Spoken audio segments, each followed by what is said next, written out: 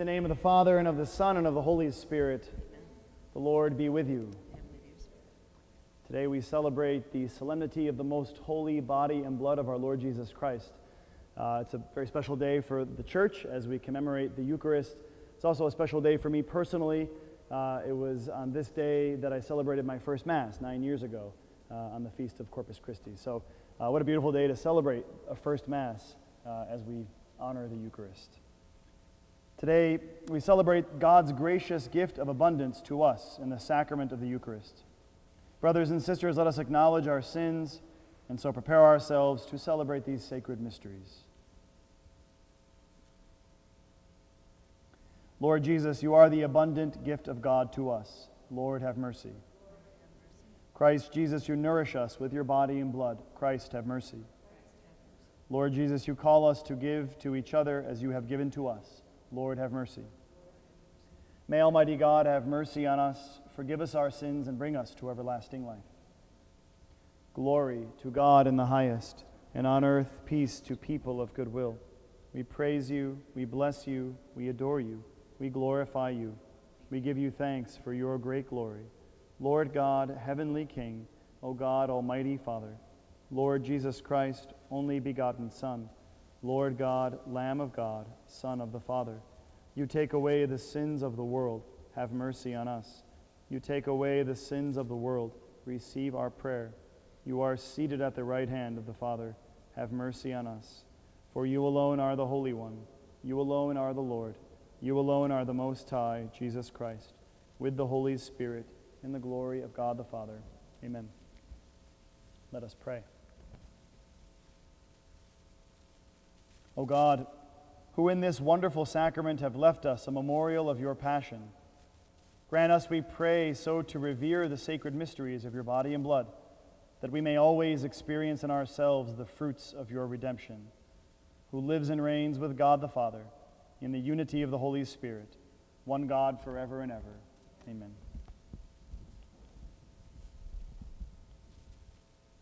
A reading from the book of Genesis. In those days, Melchizedek, king of Salem, brought out bread and wine.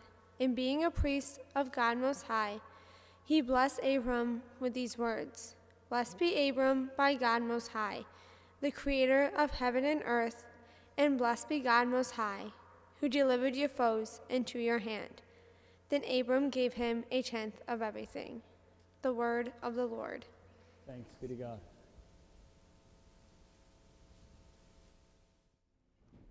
A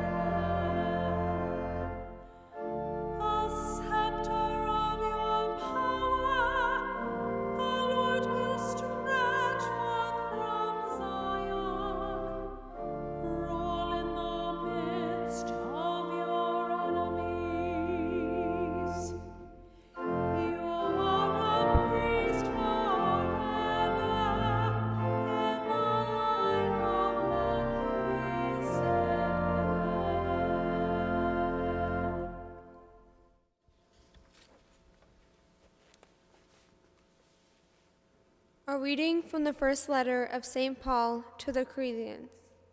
Brothers and sisters, I received from the Lord what I also handed on to you that the Lord Jesus, on the night he was handed over, took bread and, after he had given thanks, broke it and said, This is my body that is for you. Do this in remembrance of me. In the same way, also the cup after supper, saying, This cup is the new covenant in my blood. Do this as often as you drink it in remembrance of me. For as often as you eat this bread and drink the cup, you will claim the death of the Lord until he comes again. The word of the Lord. Thanks be to God.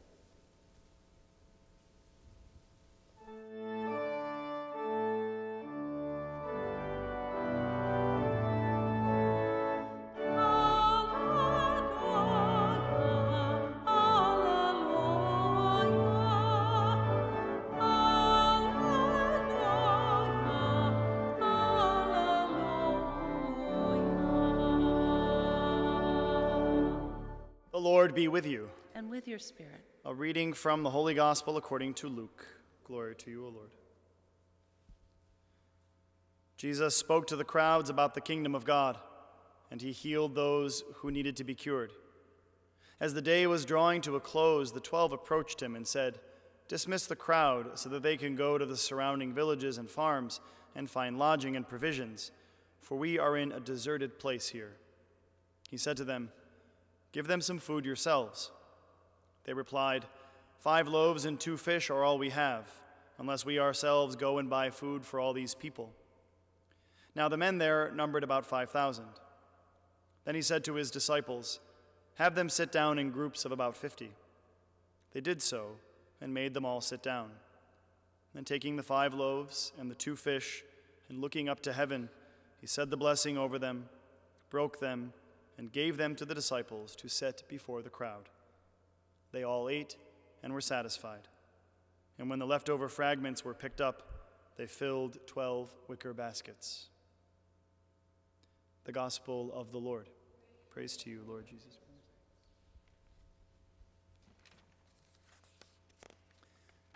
As far as I can tell, St. Paul only quotes Jesus one time in all of his writings. So he writes about Jesus. He certainly proclaims the death and the resurrection of Jesus. He expands upon the teaching of Jesus. He does a lot of theology. He was, uh, was very well educated. He knew the scripture well. He knew uh, how to talk about God, and he, he uh, used that to talk about Jesus. So, certainly, he talks a lot about Jesus, a lot of theology, death and resurrection. But I think, as far as I can tell, there's only one time that he actually quotes the words of Jesus. And that's today in the reading that we just heard from his first letter to the Corinthians.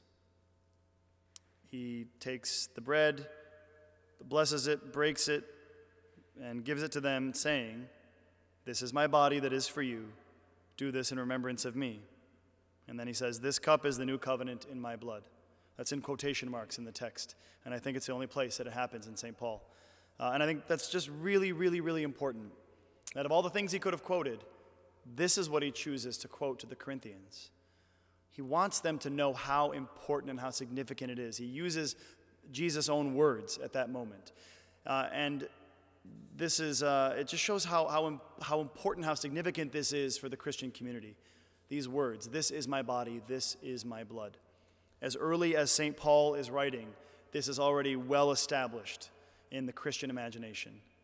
Uh, and remember, St. Paul was writing before the Gospels were even written. Um, he's writing these letters because he's preaching to these communities and then he's sending letters back to encourage them. Uh, and also, the way in which St. Paul uh, writes this also shows how, significant it is. He says, I receive from the Lord what I also handed on to you. I receive from the Lord what I also handed on to you. That's actually um, a, formulation of a rabbinical teaching. That's how a rabbi would teach something official. I receive what I've also handed on to you. So he is, as a rabbi now, that's his training, remember, he's a rabbi. As a rabbi, as a teacher, trained in the ways of passing on the faith, he shares this great message and he quotes Jesus This is my body, this is my blood. Now, all that is to say that we should take very seriously what St. Paul says that Jesus says. This is my body, this is my blood. It's not a symbol, it's not just some cute little practice that the early Christians are doing.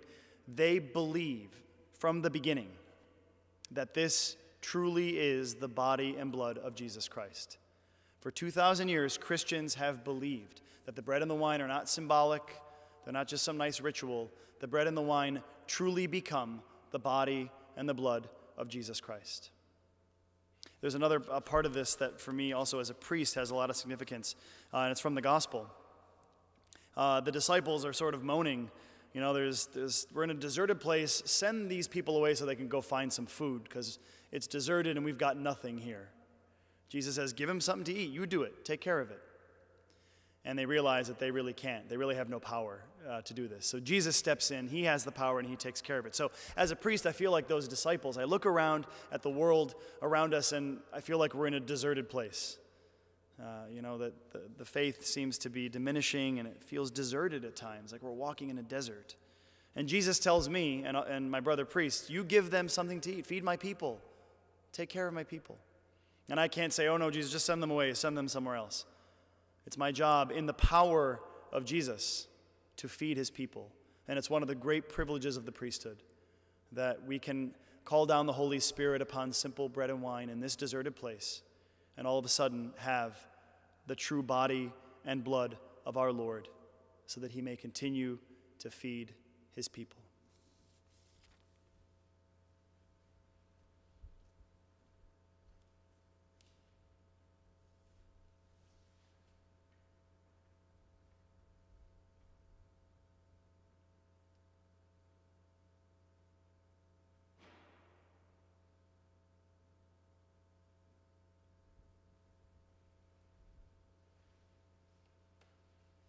I believe in one God, the Father Almighty, maker of heaven and earth, of all things visible and invisible. I believe in one Lord Jesus Christ, the only begotten Son of God, born of the Father before all ages, God from God, light from light, true God from true God, begotten, not made, consubstantial with the Father. Through him all things were made. For us men and for our salvation, he came down from heaven and by the Holy Spirit was incarnate of the Virgin Mary and became man. For our sake he was crucified under Pontius Pilate. He suffered death and was buried, and rose again on the third day in accordance with the Scriptures. He ascended into heaven and is seated at the right hand of the Father. He will come again in glory to judge the living and the dead, and his kingdom will have no end. I believe in the Holy Spirit, the Lord, the giver of life, who proceeds from the Father and the Son who with the Father and the Son is adored and glorified, who has spoken through the prophets. I believe in one holy, Catholic, and apostolic church. I confess one baptism for the forgiveness of sins, and I look forward to the resurrection of the dead and the life of the world to come. Amen. In the Eucharist, the Father nourishes his people with his beloved Son. Let us pray to our loving Father for all the needs of the world for the priests of the church, that they may continue to offer the gifts of the people of God faithfully, like Melchizedek did of old. We pray to the Lord. Lord, hear our prayer. For all who share in the celebration of the Eucharist, that they may appreciate more deeply the real presence of Jesus Christ in this sacrament, we pray to the Lord. Lord, hear our prayer. For those oppressed by starvation in soul or body, that the Eucharistic Church may help to meet their needs. We pray to the Lord. Lord, hear our prayer.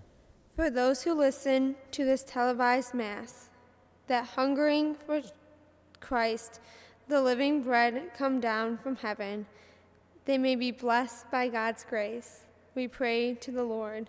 Lord, hear our prayer. For the faithful departed, that through the Eucharistic sacrifice they may come to eternal life with Christ we pray to the Lord. Lord, hear our prayer. Most generous Father, you provide for all our needs with the sublime gift of your Son in the most holy sacrament of the Eucharist. Receive our prayers through him, who lives and reigns forever and ever. Amen.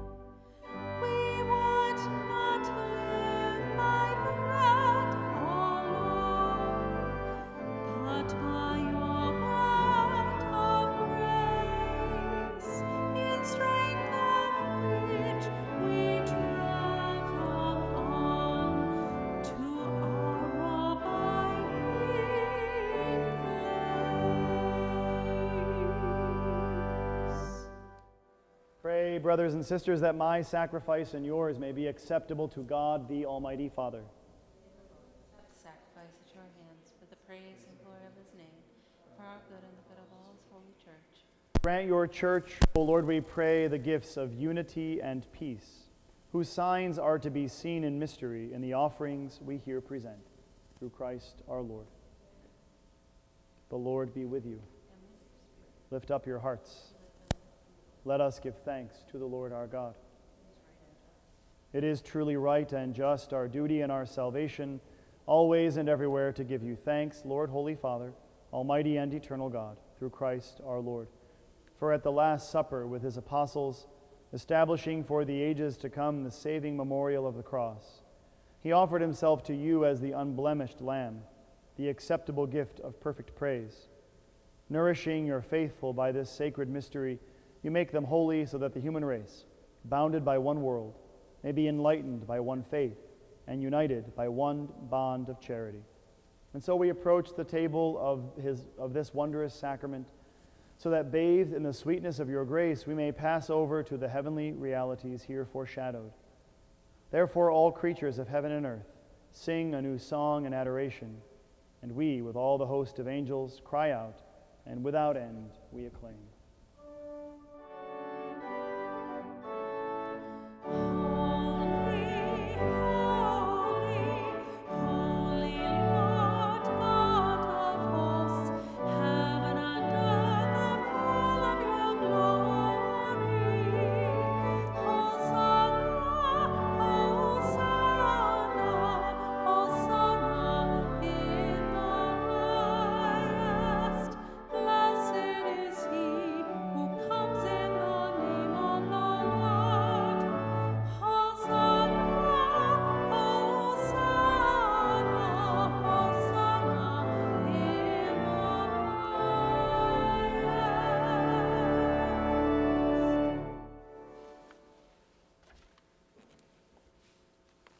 You are indeed holy, O Lord, the fount of all holiness.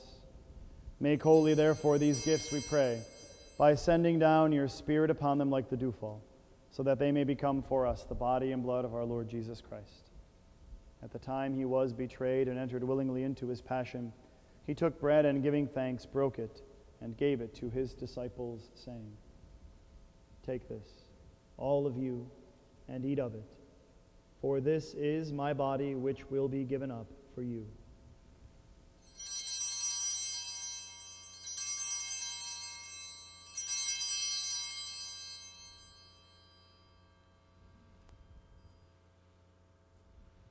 In a similar way, when supper was ended, he took the chalice and once more giving thanks, he gave it to his disciples, saying, Take this, all of you, and drink from it.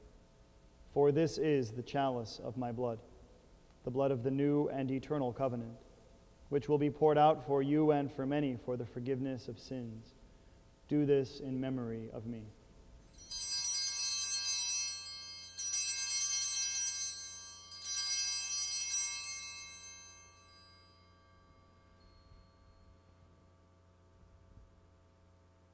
The mystery of faith.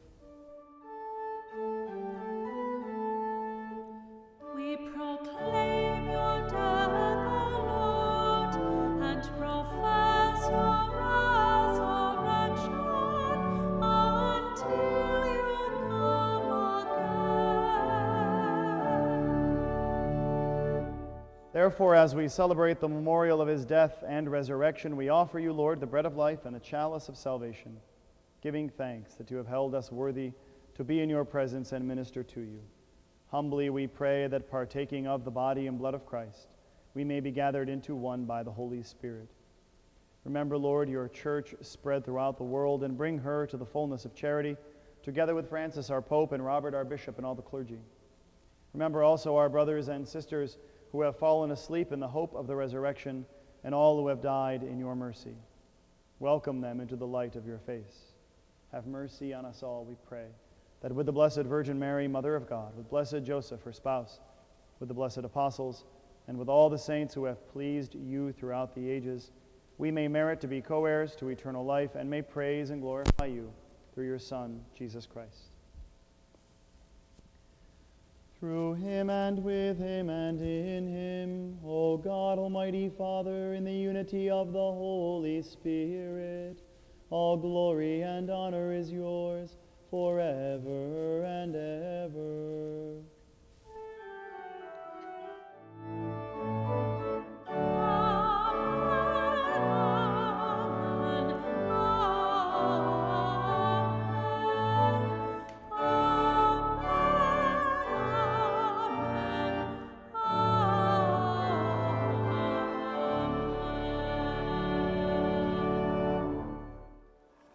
The Savior's command, informed by divine teaching, we dare to say, Our Father, who art in heaven, hallowed be thy name. Thy kingdom come, thy will be done, on earth as it is in heaven. Give us this day our daily bread, and forgive us our trespasses, as we forgive those who trespass against us. And lead us not into temptation, but deliver us from evil. Deliver us, Lord, we pray, from every evil. Graciously grant peace in our days, that by the help of your mercy we may be always free from sin and safe from all distress, as we await the blessed hope and the coming of our Savior, Jesus Christ. For the kingdom, the power, and the glory are yours, now and forever. Lord Jesus Christ, who said to your apostles, Peace I leave you, my peace I give you. Look not on our sins, but on the faith of your church, and graciously grant her peace and unity, in accordance with your will, who live and reign forever and ever. The peace of the Lord be with you always. Let us offer each other the sign of peace.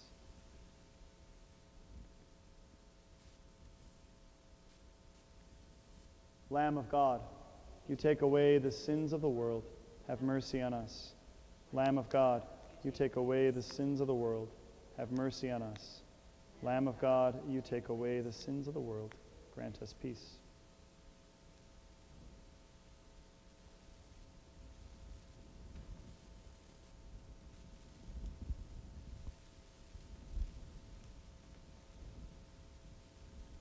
Behold the Lamb of God.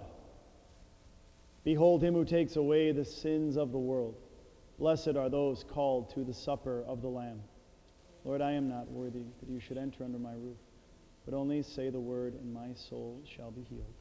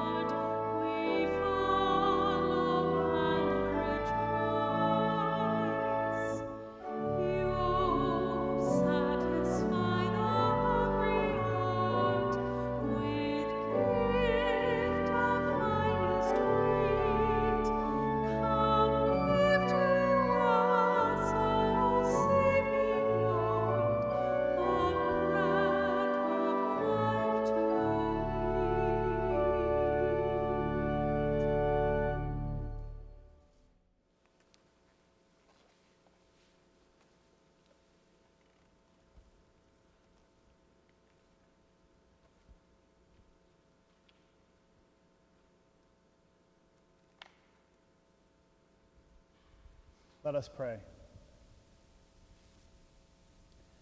Grant, O Lord, we pray that we may delight for all eternity in that share in your divine life, which is foreshadowed in the present age by our reception of your precious body and blood, who live and reign forever and ever. The Lord be with you. May Almighty God bless you, the Father, the Son, and the Holy Spirit. Go in peace, glorifying the Lord by your life. Thanks, Thanks be to God.